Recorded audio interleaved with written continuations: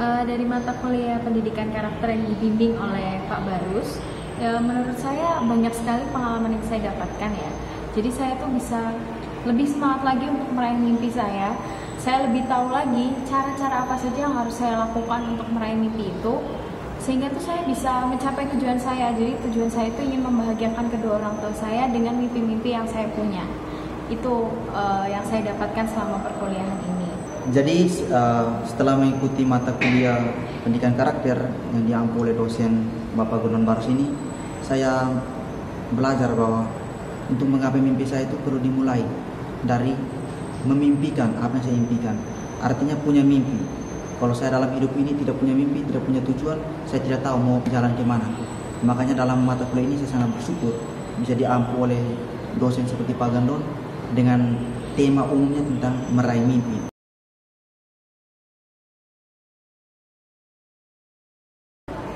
Saya, kuliah ini tuh sangat menarik sekali karena kita bisa mendapatkan sebanyak sekali manfaat itu dengan permainan-permainan yang dilakukan.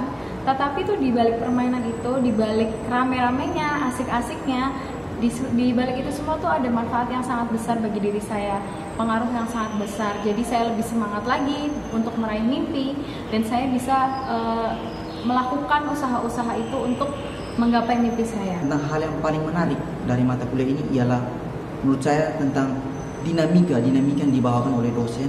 Kemudian yang juga dipercayakan oleh mahasiswa untuk memimpin dinamika dinamika yang diarahkan bersama. Nah dari dinamika dinamika itu pelajaran belajar dari pengalaman itu sangat langsung diresapi dari pengalaman hidup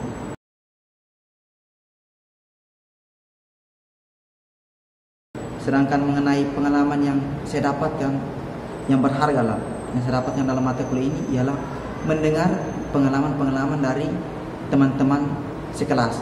Di mana ada beberapa pengalaman dari teman-teman sekelas itu yang sangat menyentuh. Bahkan tidak terpikirkan sebelumnya pengalaman berharga mereka. Di sini saya ingin menggarisbawahi tentang indahnya saling memperkaya dari pengalaman orang lain.